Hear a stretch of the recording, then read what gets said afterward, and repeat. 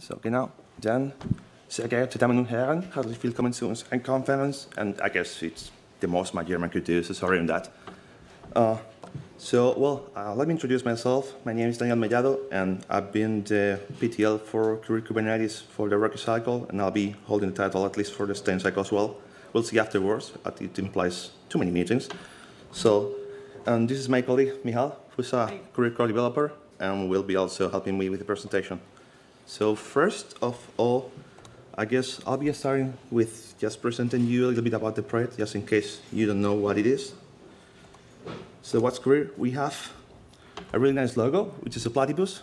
If I should have some stickers afterwards, if you like some, just let me know.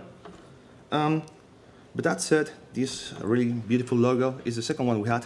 So let me introduce our awesome Kuryr here. And this was the first logo that we had uh, you see that it's basically delivers containers, and that's a little bit that we work into. So just in case you don't know, uh, Kuryr is basically a way to uh, a way to to pull down all the net, uh, to, it's networking in between Kubernetes and OpenStack, so you only, only have one networking layer. So what would happen if you, as of now, if you want to connect uh, basically OpenStack uh, with uh, Kubernetes, you will have two different network solutions. You will have Neutron for the OpenStack part, and then OpenShift or Kubernetes SDN for the Kubernetes part. And that would imply things such as double encapsulation, and basically double NAT, and quite a few things. So we have a few projects here. So first of all is Kubernetes, here we do have a CNI plugin, which is basically the way that we hook into uh, uh, Kubernetes and we provide Neutron networking uh, to Kubernetes pods. And we have a, also have a controller which provides Kubernetes services using Octavia or Neutron LBaaS version 2, uh, which, by the way, Neutron LBaaS version 2 is now considered as, as deprecated as of this release, and we are just be relying on Octavia. So if Carlos Gonzalez is around here, I wish him luck. uh, besides that, we do also have one Tempest plugin, which we are using uh, to basically integrate all our scenario tests and the scenario tests that both imply things such as uh, spin up a pod, create a VM, um, and make sure that we you could uh, get network connectivity between those. Uh, also, we have a few that are in maintenance mode, which is Kuryr. This is a Docker network plugin, but it's basically a library that we use to have shared code. And this should have been called Kuryr and we plan to migrate that to our main repo at some point during the Stein cycle. We do also have Kuryr network, which is now also in maintenance mode. And this is basically the way that we started the project. and because it just interacted with Docker containers without uh, having to deal with Kubernetes at all. Also, for a Stein cycle, we used to have a few more. I don't know if you knew about those parts. Is there anyone who knew what Fuxi was around here? And Okay, no one? Okay, let me just tell you a little bit. So Fuxi uh, and Fuxi Kubernetes and so forth was an attempt to replicate what Kuryr does, just for Cinder containers. But uh, they went, uh, we rest retarded in Stein. And with this, I guess uh, I'll be handing over to. So I will tell you about uh, what's what's happened in the in the Rocky cycle. Um, so as uh, uh, as Daniel said, uh, some of stuff got deprecated. So uh, at the moment, um, running without Kuryr daemon is deprecated, and probably will remove the way of of running Kubernetes without that service in in Stein release. Uh, and also, uh, the LBaaS v2 support is deprecated, but uh, um, it's kind of complicated to be to remove, so it's less likely to be to be removed completely. But I I don't recommend relying on that. Um, then there's one one thing about upgrading from from Queens to to Rocky. So simply with we have added a new option, external SVC net, where you can um, sorry, yeah, external SVC nets that we can that you can set uh, the network uh, uh, for the external services, so the load balancer type services. And uh, you don't need to specify the subnet if you have the default subnet in that network. So that's, that's one main, minor thing to, that, that changed. Uh, this is the matrix of the supported uh, Kubernetes releases. So uh, as you can see, 0.5 uh, is is the Rocky release. So that's what what you get, what you get at the moment is released. Uh, so it supports 1.9 and 1.10 and OpenShift 3.9 and 3.10. And currently on master, we are uh, testing new, newer versions. So Stein release will, will uh, most likely support uh, this, this uh, list that is presented here. So um, we're going to the features. And first of all, we've made the Kuryr controller. So this is the part that is talking to the OpenStack API and watching the Kubernetes API and reacts to those uh, Kubernetes uh, events by creating the OpenStack um, mm, resources. Um, so this this was supposed to mm, we only supported running uh, one instance of uh, controller. At the moment, we've implemented uh, active passive HA. Uh, this is a very simple uh, simple thing. It works exactly as other Kubernetes services do that. so simply an endpoint, which is Kubernetes resource, gets created and the, the instances of the Kuryr controller are simply annotating annotation there, and etcd is doing the mutual exclusion. Uh, this needs uh, running the sidecar container. This is the definition uh, of it. And we only suppo support that when you're running the uh, Kuryr Kubernetes on top of the Kubernetes cluster that, you, that it is networking, uh, it's providing networking to. So simply when you're running uh, Kuryr Kubernetes in, in pods uh, on, your, on your infra. Uh, this is basically because we use Kubernetes to, to do this leader election. Um, then we've added the uh, liveness and readiness checks to the uh, to the Kuryr daemon de facto. So this is the list of what what it uh, checks. Uh, probably the most uh, interesting one here is the number of CNI add failures. So after a number of um, failed uh, tries to add the network for a container, uh, or add the port for a container, uh, the health check will fail and the Kubernetes will uh, restart that uh, Kuryr, uh, daemon uh, that actually helped us with, with one bug that we haven't seen due to health checks being being enabled. So simply health checks prevented that bug from um, from showing up in the deployments that we're running with this with this feature on. Oh, this is the definitions of the, those are definitions of the, uh, of those health checks in uh, the definitions of the um, daemon daemon set. And another thing is pluggable Kuryr controller handlers. So this kind of, this sounds kind of complicated. So I put a very complicated uh, image here. But what you need to know about handlers in the Kuryr controller is this is the, this is the example definition of the handler. So you see that you define what uh, kind of Kubernetes resource it is looking for and on which uh, uh, endpoint on the API you can find it. So what that means is uh, we now have the option to enable or disable some of the handlers. So uh, this is at first you see that uh, the default ones. So it's VIF, LB, and LBAS spec. this means that Kubernetes is providing networking for uh, pods and the Kubernetes services through the load balancers on Octavia. And if you, for example, use uh, kubeproxy for the services, now you can disable the LB, LB and LBAS spec uh, um, handlers and uh, make sure that uh, Kubernetes will only provide networking for pods. And this is useful um, conversion table because we, of course, couldn't name the handlers with the uh, with the names of the resources they are watching. So that's how it is. VIF is pod, LB is endpoint, LBAS spec is service. And there are two more that uh, you're probably not, not aware of, and uh, they are not listed as the defaults. Uh, so Daniel will explain what those two are about. Yeah, so first of all, uh, I just want to remind or let you know, just in case you don't know how this works, but uh, as of now, in Kubernetes, we map Kubernetes services to OpenStack load balancers, as I was telling before Octavia. So another thing that we are working to now is uh, supporting directly ingress controller. And by ingress controller, I would mean that we will have one controller that would map to, to services and then to pods. And I think one important thing that we would like to especially remark is that this implies that we are supporting direct routes and not ingress directly when you get them from the load balancer. So also for using this directly, you want to use this feature, you would need to create by yourself one Octavia layer 7 load balancer. This is something that we do plan also to enhance over the Stein cycle by also supporting overload balancer up until layer 4.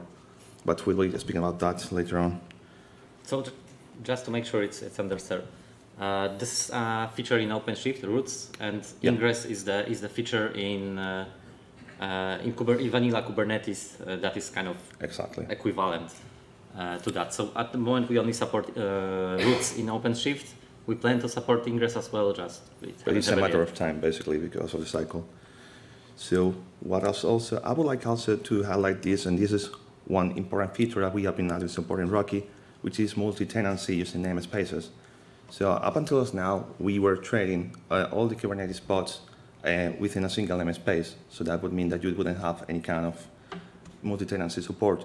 But as of now, what we are doing is whenever you create a new project that gets mapped to a namespace, and that namespace would hook a new router, a new subnet, and would hook out into, the, into everything.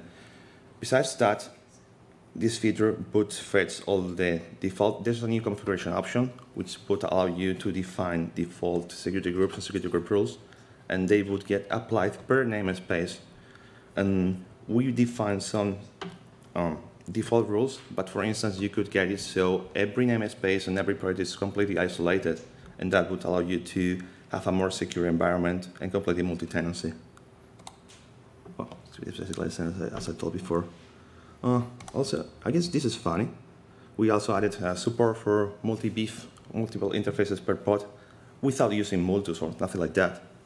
And this, I just want to highlight basically here that uh, this is funny. This was the name of the standard group. That was this Kubernetes Network Custom Resource Definition de facto standard v1 support, which is quite long. But uh, this is something that uh, we are fully supporting starting Kuryr.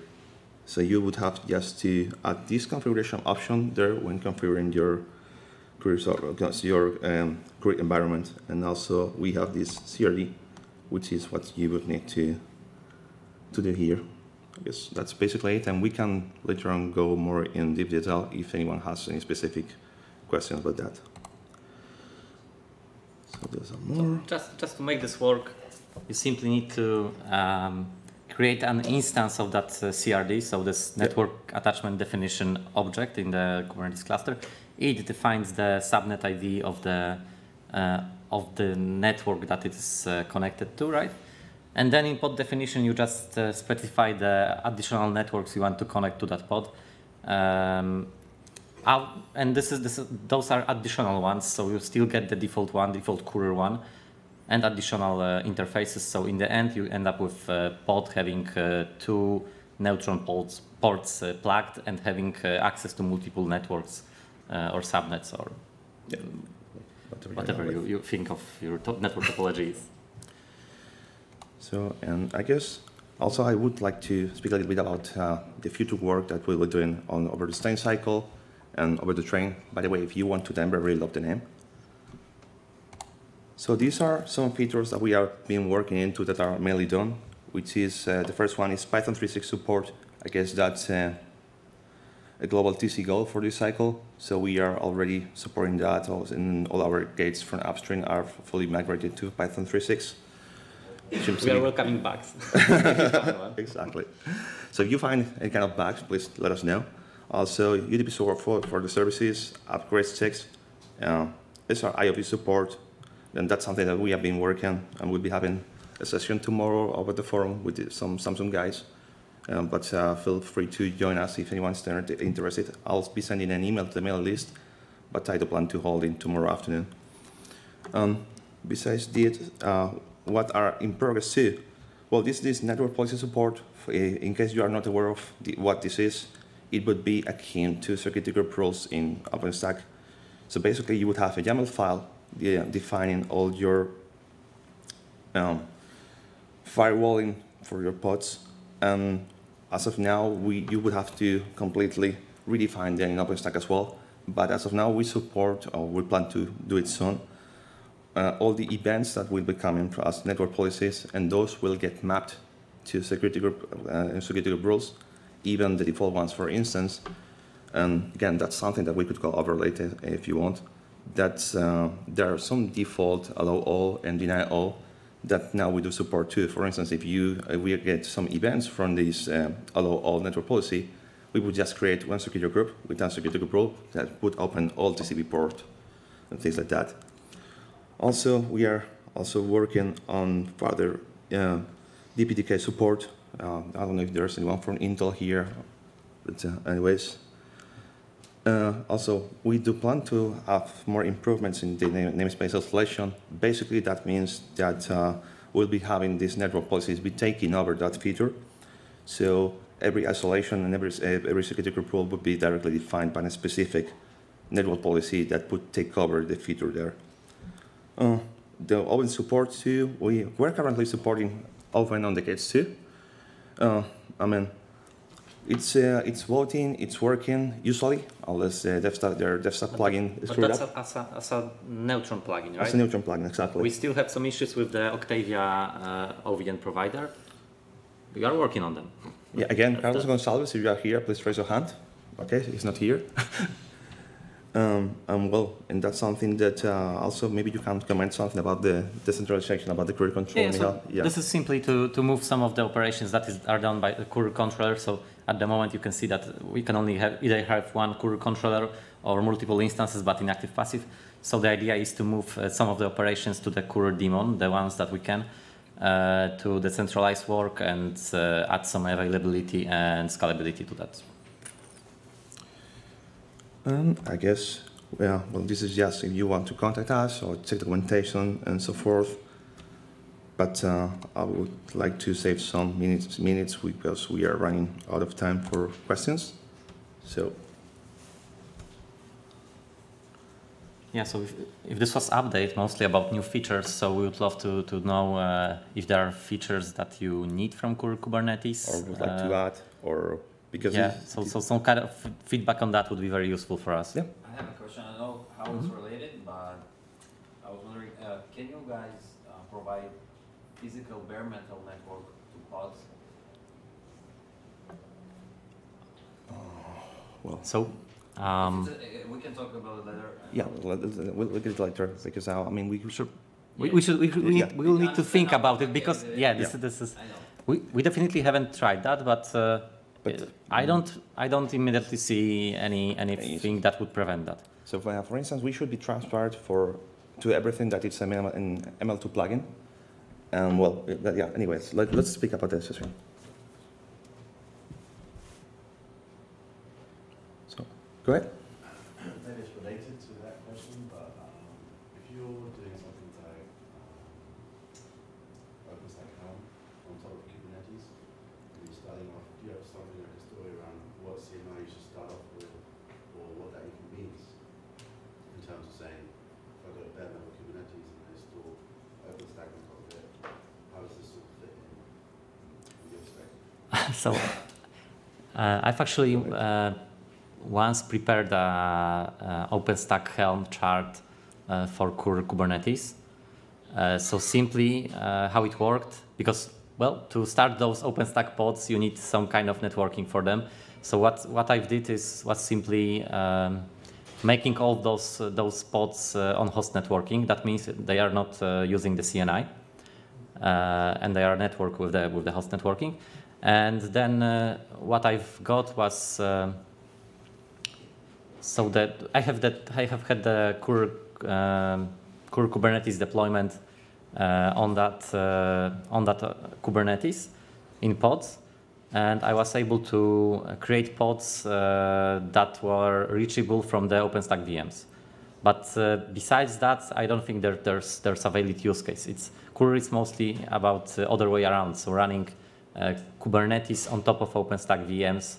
Uh, we, that gives you gives you um, well simplifies your deployment and uh, avoids uh, the prevents you from having multiple uh, network overlays.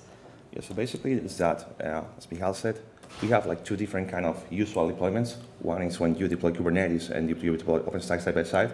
You would like to avoid multiple overlay networks.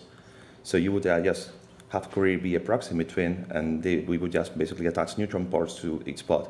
And the other use case is when you want actually to have a Kubernetes worker or whatever you like, like to call the node inside one OpenStack VM. We would support that as well. What you are speaking sounds like exactly the other way around, but we can discuss this afterward. Yep. How do you map uh, Kubernetes projects OpenStack projects when you're doing multi-tenant networks? Using namespaces. Okay. So are they the same in both? Sorry? Are they the same? Like would the UIDs of namespaces match across the environments? I can show you the blo- the blueprint later if you are interested. Okay. It's, bas- it's basically um, uh, when, when you create, this works, you know, when you create a network, uh, a namespace in the Kubernetes, we create a separate network for, for, the, Yeah. for the pods in that, pods in that namespace. That's it. So there's some matching between namespaces in the Kubernetes and networks on the created by Kuryr Kubernetes Okay. in the, in the In any case, uh, I guess we have a nice diagram, so I can show you. There- Down oh. question, sorry. In, uh, how do you open uh, neutron security groups to ensure that uh, HTTP, HTTP probes for health checks work? You know, when, when you have HTTP health check, the kubelet needs to talk to the pods running uh, on itself, on, on VM, basically. And then you need to ensure that the traffic is open, right? Yeah, but that's that's the internal traffic on the compute uh, on the Kubernetes on on the VM, right? Because the so the kubelet is running on the OpenStack VM, So and uh, this kubelet is uh, calling the uh, pods on. to HTTP, so if you ever isolated the container network from the VM network, you have to open the traffic unless you have some sort of local bridge in your solution. Well, the thing is not that we isolate it, it's that it's the same network. So basically, you, you have a port and you don't care whether it's a pod or it's a VM. They will be on Yep, the so, same network. so the kubelet is not reaching the pods uh, through the through the container network. It's probably I think it's it's not even going out of the kernel. So it's just uh, going to the to the network's namespace. Even if you have an HTTP probe, even if the probe is HTTP, the kubelet contacts directly the Yeah, that that's for health checks. Yeah. Yeah, right? hmm Yeah. So that, so it should be like that.